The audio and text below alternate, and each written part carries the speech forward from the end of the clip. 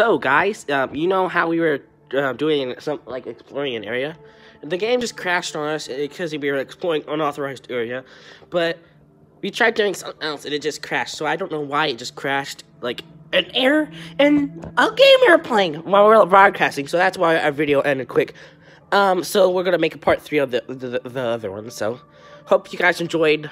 Obviously, this is stupid stuff.